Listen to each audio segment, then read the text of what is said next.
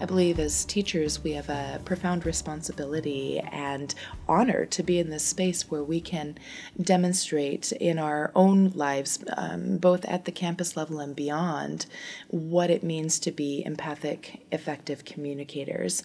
And by doing that, by going out into the community myself, by showing and sharing with my students the connections that I have, and by inviting them to be a part of that network, encouraging it, you know, inviting them to connect with me on LinkedIn, to be involved in um, the the Twitter promotion of our university's goals and missions and the activities that they're doing in the community. It is in effect this action, this modeling that my students see in um, not only my professional life but my personal life that incorporates the importance of um, empathy and effective communication and community involvement and philanthropy and all of these amazing things that contribute to a better global society, a better local society, and a better campus society.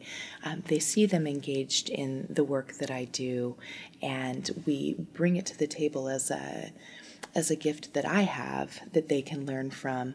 And that leads to that collaborative effort where they're sharing the work that they're doing. They're inspired to go out and do that work. And then they become models for the people that they're connected to. So that collective network just grows bigger and stronger with each of those exchanges.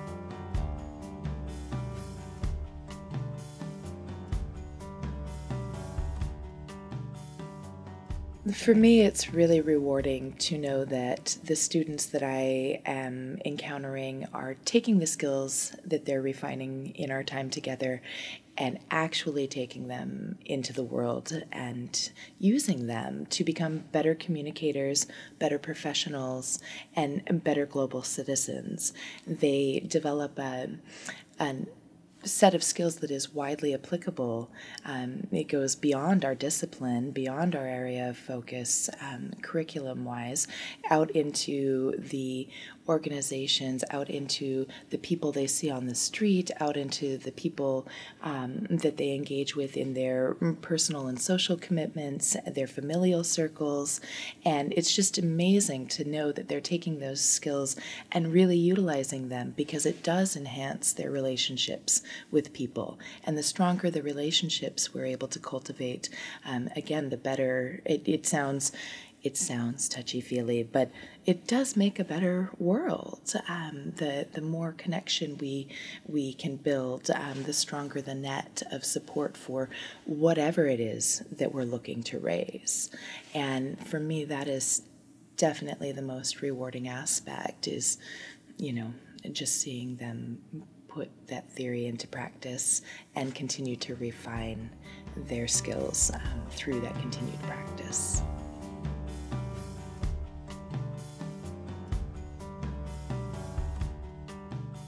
I get so much help from all over this university that I'm so grateful for. I couldn't do it without, um, you know, without AJ, without um, you know, and all, all, of these other people who contribute and who are constantly, um, you know, coming to my classes to strengthen the curriculum.